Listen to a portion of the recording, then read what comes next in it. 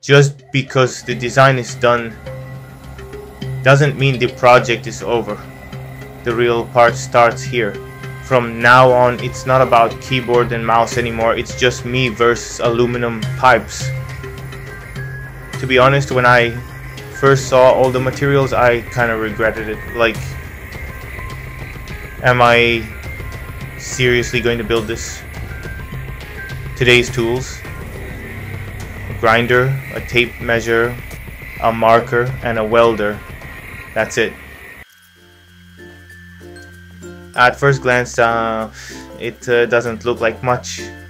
Uh, just a few aluminum pipes and plates. But here's the scary part. If I mess up even once, everything's ruined. People say, just follow the drawings easy, right? Number reality is absolutely different. Even getting a perfect 90 degree angle with pipes. Pure hell. If the pipe's slightly bent, if the cut isn't perfect, your whole frame twists down the line. That's why I measured, marked, and remeasured like 10 times.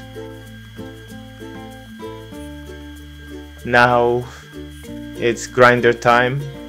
Aluminum dust flying everywhere. That smell? Yeah, guaranteed shower tonight. Cutting aluminum isn't as easy as it looks. No CNC here. No fancy tools. Just me and sparks flying everywhere.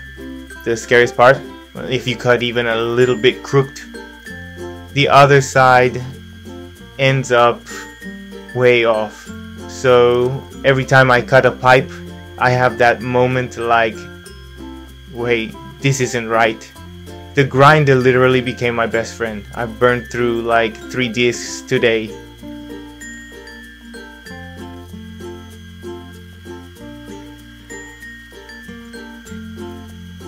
Alright, now comes tack welding. This is like playing with fragile Lego blocks. I don't have any jig. Why? No money, no time. My hands are the jig, my eyes are the jig, my body is the jig. Hold it with my knee, adjust it with my hand, weld with the other hand. Real life maker style. And the worst sound is that shh. The moment I hear that, yeah, messed it up.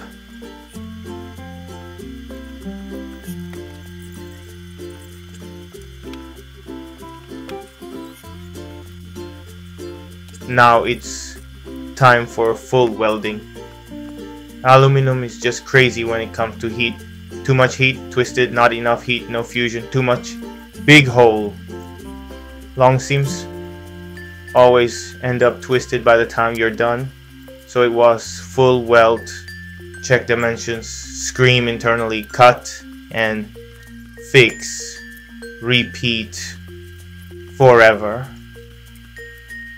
Sometimes I seriously thought maybe it'd be faster to just start over.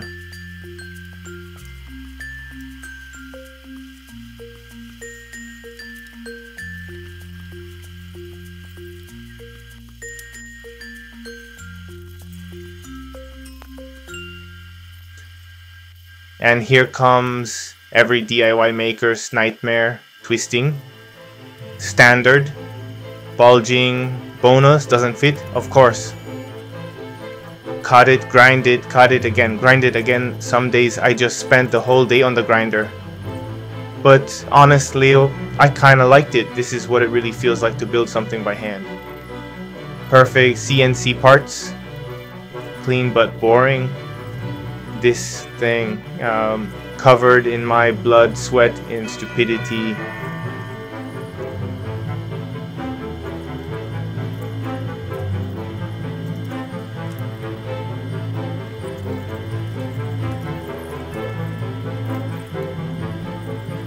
and after fighting like that for days somehow the frame stands seeing it upright for the first time feels unreal. It was painful, exhausting, frustrating, but at the same time, this is my machine.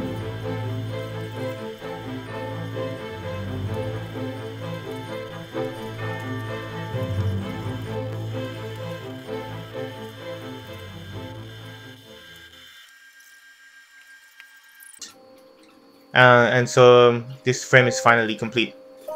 Honestly, while I was working on this, I had all kinds of thoughts running through my head. When you're designing in CAD, you never really feel this stuff. That one line, that one dimension. On the screen, everything looks so simple, so obvious. But once you start building it in, in real life, everything is a problem cutting, welding, realizing it's twisted, grinding it down, welding again, changing out grinder discs over and over, letting overheated pipes cool down again and again and again. It almost felt ridiculous just how long I was stuck working on a single frame. But I think this is exactly the process only people who actually build things understand. Doesn't matter what you call it. Engineer, maker, builder, technician. This is what we really do. Is it perfect? No way. Honestly, if you look closely, there are scratches everywhere. None of it looks CNC processed clean. And, uh, yeah. It totally looks handmade. But to me, that's exactly why I like it. This is 100% my work built entirely by my own hands. And now this is where the real battle begins. Motors have to go on, batteries need to get mounted, electronics wiring, ESC placement, data lines, BMS connections. Honestly, getting to this point was already brutal, but what comes next, that's a whole new level. But that's also exactly what makes it fun what started out as just build a drone has slowly turned into something else entirely. Time, frustration, mistakes, experience, it's all packed into this frame now. It's way more than just hardware at this point. Right now it's just a frame. But from here on, I'm going to show you exactly how this thing slowly becomes a real flying machine. This project, from start to finish, no matter how ugly, no matter how many mistakes, I'm going to show everything. And to be honest, the next part is going to be pure chaos. Stay tuned.